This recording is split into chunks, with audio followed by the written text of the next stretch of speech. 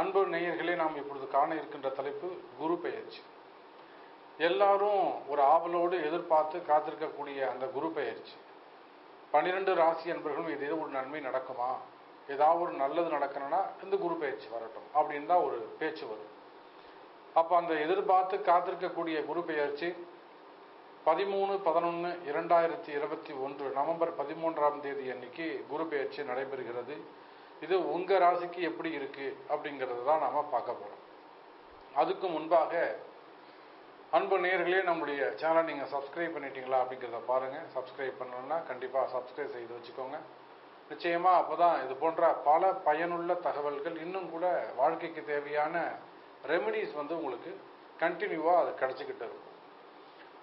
அதே போல இன்னொரு முக்கியமான விஷயம் என்னன்னு கேட்டீங்கன்னாக்கா இந்த குரு பயிற்சிக்காக குரு பயிற்சி பிராயச்சித்த பரிகார ஹோமம் பனிரெண்டு ராசி அன்பர்களையும் ஒன்று திரட்டி நவம்பர் மாதம் பதினான்காம் தேதி குரு பெயர்ச்சி விழா முன்னிட்டு பன்னெண்டு ராசி அன்பர்களுக்கும் அவங்களுடைய தொழிலுக்காக பிஸ்னஸ்க்காக அல்லது உங்களுடைய ஜாப் அவங்க குடும்பம் நேச்சர் சம்பந்தப்பட்டது குடும்ப கஷ்டங்கள் கணவன் மனைவி ஒற்றுமை திருமண யோகங்கள் கடன் சுமைகள் கடன் பிரச்சனைகள் வம்பு வழக்கு இப்படி பலதரப்பட்ட பிரச்சனைகளுக்காக உங்களுக்கு இருந்து வரக்கூடிய பிரச்சனைகள் விலக வேண்டும் என்பதற்காக பனிரெண்டு ராசி என்பவர்களுக்கும் குரு பெயர்ச்சி யாகம் நடைபெறுகிறது. ஸோ உலகம் முழுவதும் வாழக்கூடிய ஹெட்லைன்ஸ் டிவி இணையர்கள் இந்த குரு பெயர்ச்சி யாகத்தில் கண்டிப்பாக பார்ட்டிசிபேட் பண்ணி அதுக்கான பரிகாரங்கள் அதுக்கான பிராயச்சித்தங்கள் நீங்கள் செய்து கொள்ளலாம்.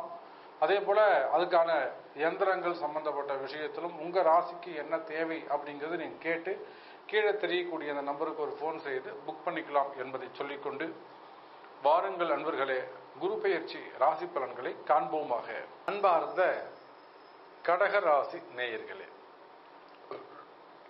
அன்பார்ந்த கடகராசி நேயர்களே இந்த குரு பெயர்ச்சி நிச்சயமாக கவனமாக நடந்து கொள்ள வேண்டிய ஒரு விஷயம். பொதுவா குரு என்பவர் சுபத்துவம் வாய்ந்தவர் முழுமையான சுப பலன்களை நற்பலன்களை மட்டுமே தரக்கூடியவர். எந்த காலத்திலும் அவர் அசுப பலன்களை தரமாட்டார். வேண்டுமானால் உங்க ஜாதகத்துக்கு உங்களுடைய பர்த் சாட்டுக்கு அவர் அசுபராக மாறினால் அல்ல அவயோகியாக அமைந்தால் மட்டுமே பாதகராக அமைந்தால் மட்டுமே அந்த குரு நன்மையை செய்ய மாட்டார். அதே சமயத்தில் பாதகத்தையும் செய்ய மாட்டார். அந்த சுபத்துவம் வாய்ந்த குரு பகவான் இது நாள் வரையில் கடகராசிக்கு ஏழாவது பார்வையாக நேரடி பார்வையாக சமசப்தம பார்வையில் இருந்து வந்தார். அதனாலதான் கடகராசி நேயர்கள் எவ்வளவோ எத்தனை எத்தனை எத்தனை பிரச்சனைகள் இருந்த போதும் அந்த பிரச்சனைகளை எல்லாம் தாண்டி ஒரு நல்ல குரு உங்களுக்கு கிடைச்சிருப்பாரு. ஒரு வழிகாட்டுவதற்கான நல்ல ஒரு குரு உங்களுக்கு வழிகாமிச்சிருப்பார். இந்த பாதையை தேர்ந்தெடுத்து போங்க நான் உங்களுக்கு பிரார்த்தனை பண்றேன் நான் உங்களுக்கு பூஜை பண்ணி கொடுக்குறேன் கவலைப்படாதீங்க அப்படின்னு ஆறுதல் தரக்கூடிய குரு உங்களுக்கு கிடைத்திருப்பார். ஆனா கடகராசி நேர்களே கவனம் தேவை என்பதைத்தான் இந்த குரு பெயர்ச்சி உங்களுக்கு உணர்த்துகிறது. ஏன்னா உங்க ராசிக்கு அவர் ஆறாம் அதிபதியா போயிடுறாரு ஆனால் அதே சமயம் அவரே ஒன்பதாம் அதிபதியாகவும் அமைந்து விடுகிறார். பாக்யாதிபதியாக வரக்கூடிய குரு பகவான் எட்டாம் இடத்துல மறைவது அவ்வளவு சிறப்பு அல்ல. அப்போ கடகராசி நேர்களே இதனால எங்களுக்கு என்ன சாமி நடக்கும்னாக்கா தனித்த சனி பகவான் ஆட்சி பெற்ற சனி பகவானுடைய பார்வை சமசப்தமாக கடகத்தை பார்க்கிறார்.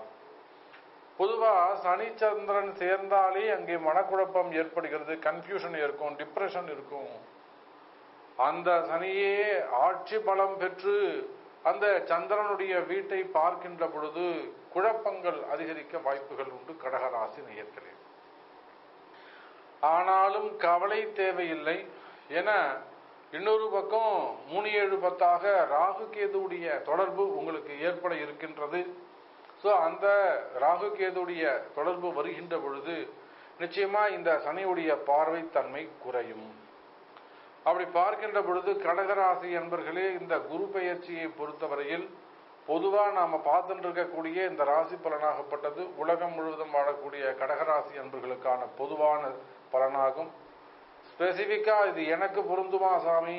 இது எனக்கு பொருந்துமா அப்படின்னு கேட்டாங்க அதுக்கு உங்களுடைய பர்த் சாட்டை கொண்டு வந்து நீங்கள் பார்க்கும்போது தான் உங்களுக்கான நற்பலன்களை சுப பலன்களை சொல்ல முடியும் கடகராசி நேயர்களே.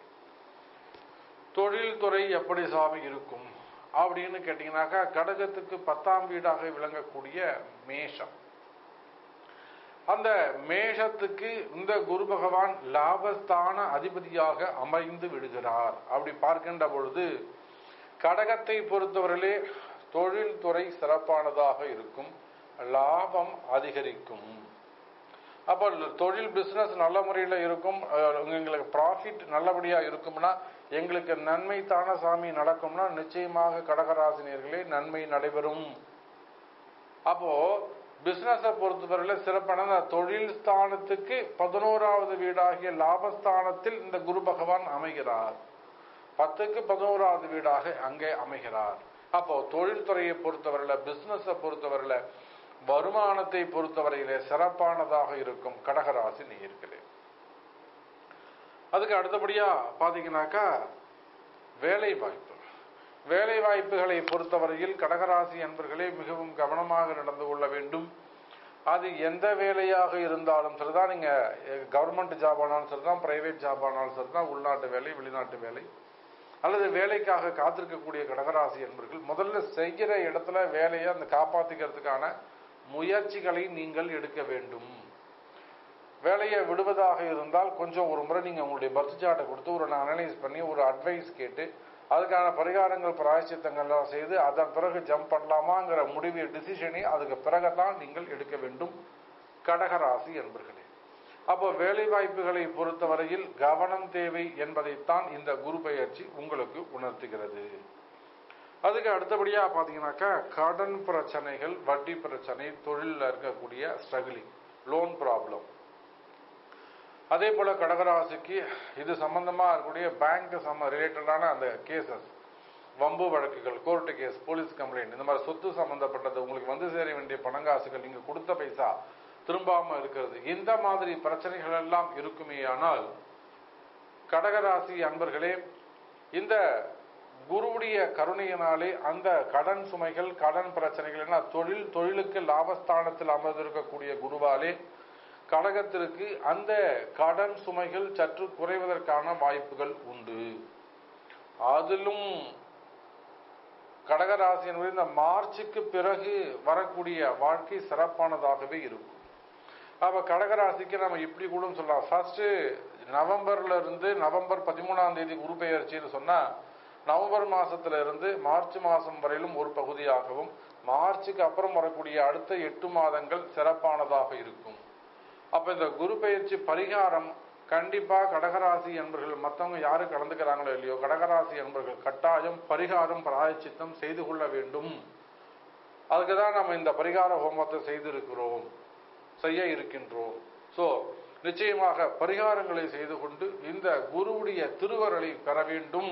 என்று நான் உங்களை வாழ்த்துகிறேன் என்பதை சொல்லிக்கொண்டு அன்பு நேயர்களே பதிவின் தொடக்கத்தில் நாம் சொன்னதைப் போல குரு பெயர்ச்சி ஹோமம் குரு பெயர்ச்சி பரிகார பிராயச்சித்த ஹோமம் பனிரெண்டு ராசி அன்பர்களுக்காகவும் நவம்பர் மாதம் பதினான்காம் தேதி நடைபெறுகிறது. ஸோ உலகம் முழுவதும் வாழக்கூடிய நம்மளுடைய ஹெட்லைன்ஸ் டிவி நேயர்கள் இந்த பிராயசித்த பரிகார ஹோமத்தில் கீழே தெரியக்கூடிய இந்த நம்பருக்கு ஒரு ஃபோன் செய்து உங்களுடைய பெயர் உங்களுடைய நட்சத்திரம் ராசி ஏன்னா இதற்கான பிரார்த்தனை உங்கள் கம்பெனிக்காக பண்ணுறீங்களா உங்கள் ஜாபுக்காக பண்ணுறீங்களா இல்லை உங்களுடைய ரிலேஷனுக்காக பண்ணுறீங்களா இல்லை உங்களுடைய ஃபேமிலிக்காக பண்ணுறீங்களா அல்லது உங்களுடைய ஸ்ட்ரகிளிங் கடன் சுமைகள் கடன் பிரச்சனைகளுக்காக வம்பு வழக்குகள் இந்த மாதிரியான விஷயங்களுக்காக திருமண யோகம் குழந்தை பாக்கியம் செய்ய எதுக்காக நீங்கள் இந்த ஹோமத்தில் கலந்துக்கிறீங்க என்ற விவரங்களை பதிவு செய்து இந்த குரு பெயர்ச்சி யாகத்தில் கலந்து கொண்டு குரு பகவானுடைய கருணை நிச்சயமா ஒரு நல்ல மாற்றத்தை உங்களுக்கு தர வேண்டும்.